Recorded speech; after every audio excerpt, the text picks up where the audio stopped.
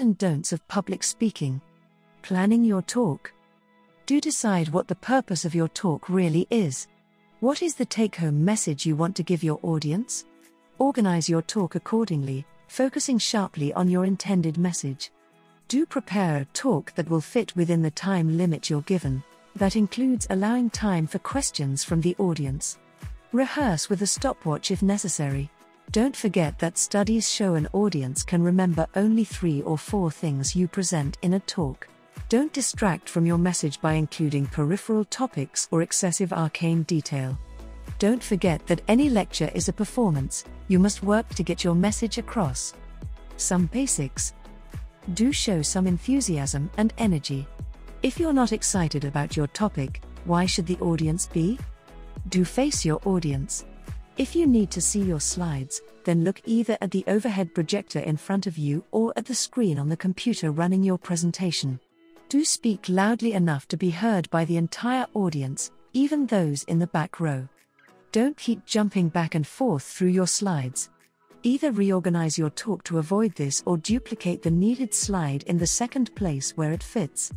Don't start to change a slide, then stop halfway. Either change it or leave it. Don't fidget nervously in front of your audience. Make your movements and gestures purposeful. Don't stick your hands in your pockets, hook your thumbs under your belt, or engage in other creative diversions. Words, phrases, etc. Do clearly define any terms that may not be familiar to your audience. Remember, they're probably not all from the same specialty as you. Do keep acronyms to an absolute minimum.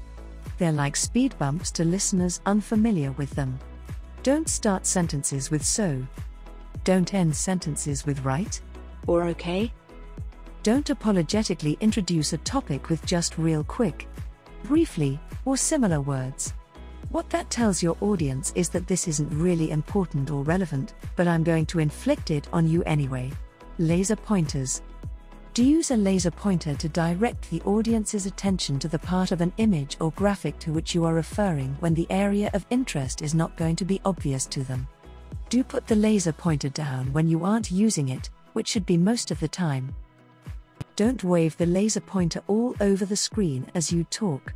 You're going to give your audience a headache as their eyes jerk all around their heads trying to keep up. Don't use a laser pointer to point to text. Your audience is as capable of reading as you are. Do you still run your finger under the words as you read? Neither do they. Questions. Do answer questions as succinctly and briefly as possible. Remember, there may be only one person in the audience interested in a specific answer. Do remember that I don't know is a perfectly good answer. You needn't go into a five minute explanation of why you don't know. If you're working on answering the question, just say that. Don't use a question as an excuse to bring up the dozen slides you cut out of your talk in order to meet the time limit you were given.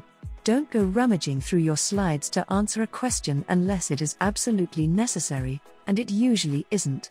Don't hold private conversations with questioners in the front rows.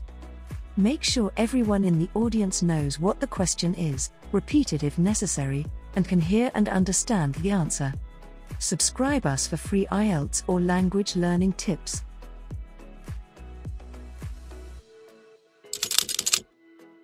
Inzpira.